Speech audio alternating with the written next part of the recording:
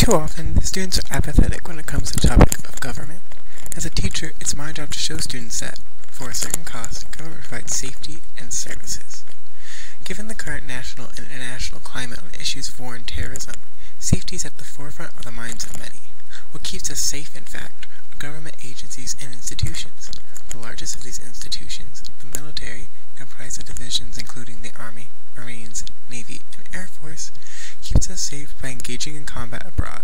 The National Guard aids citizens in America during times of crisis. Additionally, national security agencies like the CIA work to protect us from terrorist threats and cybercrime on an international scale. Locally, government employs police officers to keep streets and neighborhoods safe from criminals, and firefighters to keep people safe when buildings are engulfed in flames. Government provides services that we use almost daily, the most basic service is transportation. The government pays for our roads, highways, bridges, and oftentimes subsidizes improvements to public transportation like buses and trains. The most vital government resource for young people is education. The government pays for K-12 public education, including teacher salaries, building repairs, technological advancements, bus transportation to and from school, and free or reduced lunches for low-income students. State legislatures subsidize college costs at public universities like IU and Purdue, while the federal government offers student loans to help young people earn a degree and have a better chance of economic success as adults.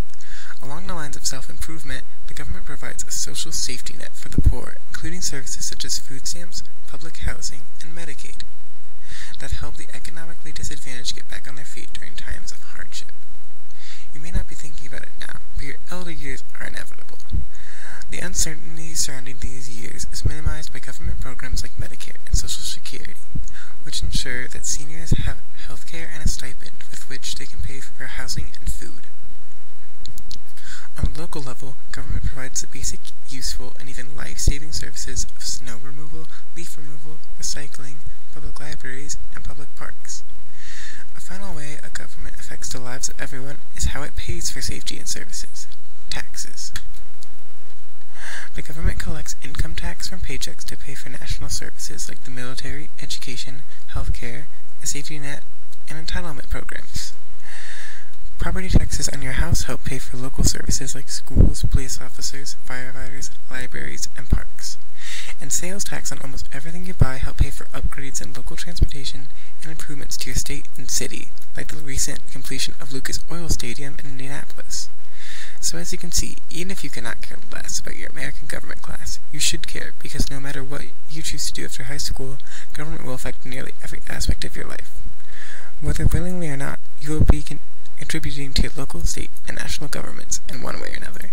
In return, the government will provide you with safety and services, so it would behoove you to be aware of these services provided so that you can best use them to your full advantage in order to improve your overall quality of life.